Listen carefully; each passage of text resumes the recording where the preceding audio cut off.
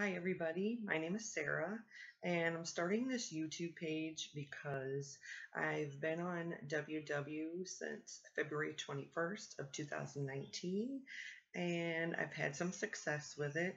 And the reason why I want to do this is because I want to share some tips and tricks with you on um, how I stay motivated and what happens um, with me and like how I just want to stay with it and what I do to do that. Um, I want to show you a little before and after picture that I took. I've currently lost 99.6 pounds so far. So here is, there's my picture from before and after to show proof. So um, why I started was um, about three or four years ago. I um, started having all these weird symptoms um, that really didn't make sense to me at first. So I started writing them down. Um, and then I was looking them up and everything. And, um, you know, a few things popped up. But I went to my doctor and a year's worth of blood work never showed anything. I was said it was fine, there was nothing wrong, but I knew there was something wrong, so I had them keep doing blood work. And it was wasn't until over a year later that I finally got some um, blood work results back that says that I had hypothyroidism. And at the time, like I said, I was having weird symptoms, like I was losing my hair, um, and I was gaining probably at that time about five pounds in like a week or two, which is a lot. So I knew something was wrong. Um, so when the hypothyroidism came back, I looked it up, and just about all the symptoms that I had um, on the list I did have. So made sense, you know. So um, last year, my birthday was on the 1st of February. So my mom said, what if I um, start you, because they had the, you know, you sign up for three months and you, they waive the fee and you, you know, get little thing, promotional things here and there. So that's what she did. She, for my birthday, she, um, gave me bought me the three month plan for my birthday and she signed up with me actually and she's been doing it with me ever since. Um, she's lost about 67 so she's doing good too.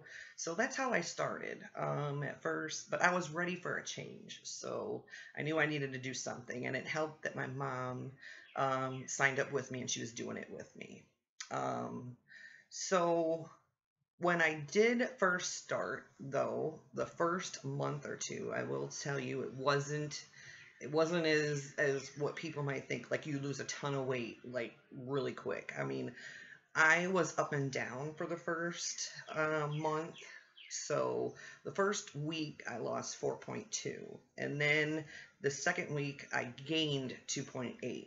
So, you know, at first I was like, I don't know if this is going to work out so much, you know, because I was, you know, gaining, but I didn't realize at the time that that was normal, um, especially for me because of my hypothyroidism. It, you know, that doesn't help me at all in this process. It actually makes it harder to lose weight.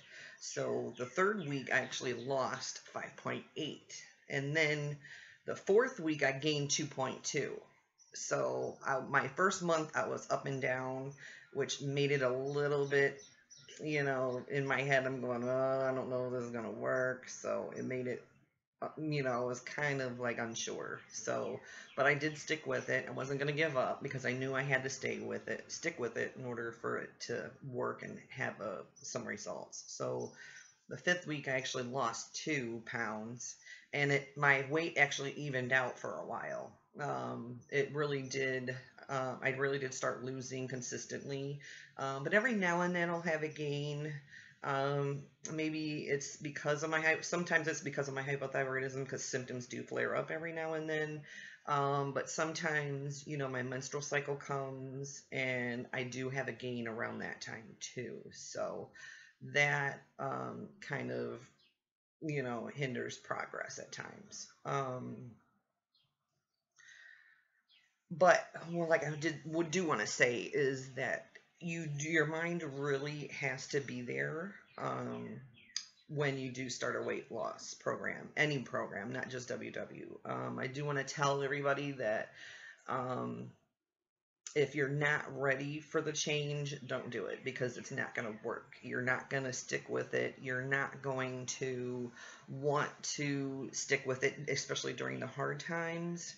Um, so, yeah, so I would say, you know, if you're at the bottom of the barrel looking up or in between a rock and a hard place and you don't know where to go, that's when you start. So that's where I was.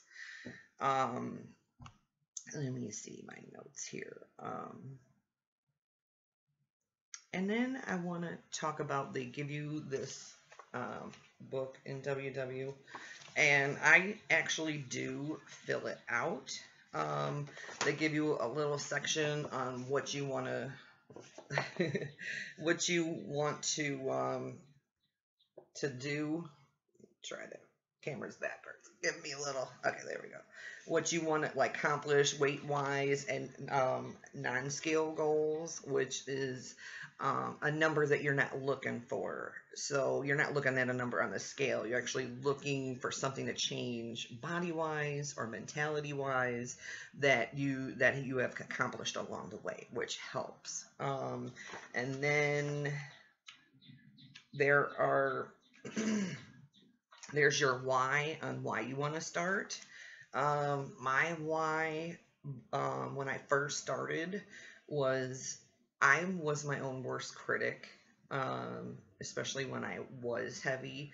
And since I'm married, um, my husband has always been supportive of me.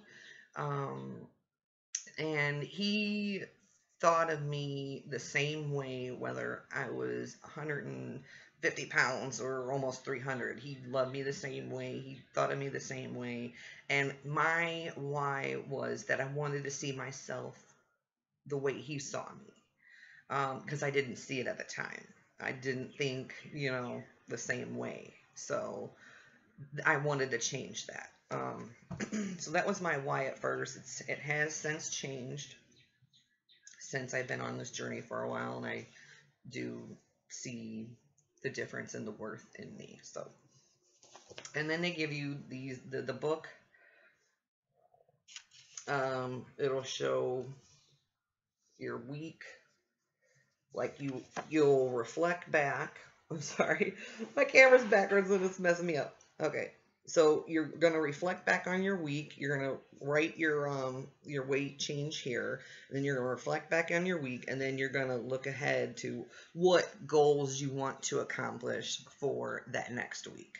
And I do write all of this down and I do and then I do write down notes from the workshop that we do because I do the in um, in the studio. I do that. I, I don't think I could do it online just by myself because I need that little camaraderie that we have in the meet in the meetings in the group. So yeah, but you know, if you're doing online only, that's perfectly fine. Um, it does work. So you just, I would just say find a buddy or a person to do it with you because you know if you're doing it by yourself, it might be a little discouraging. And then there's a section here with Monday through um, Monday through Sunday. Um, I do weigh in on Monday because I want to save my weekly points that I have for the weekend. You have daily points and weekly points. Um, when I started, I started off with 42 daily points because I started at 284.4 pounds. So, and then I had 42 weekly points. And you can save four um, daily points that rolls over into your weeklies. So you can do that every day.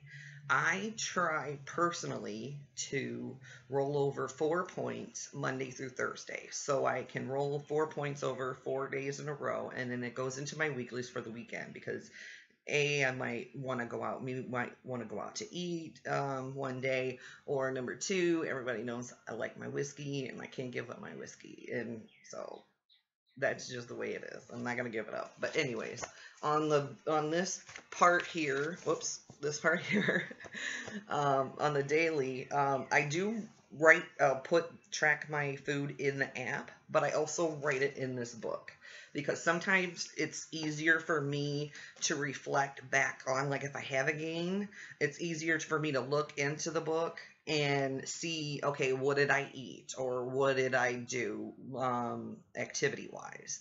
Um, so that helps me reflect back on what happened, why would I, why did I gain, and then it, you know, it's just easier to see in a book than it is to um, look in the app all the time.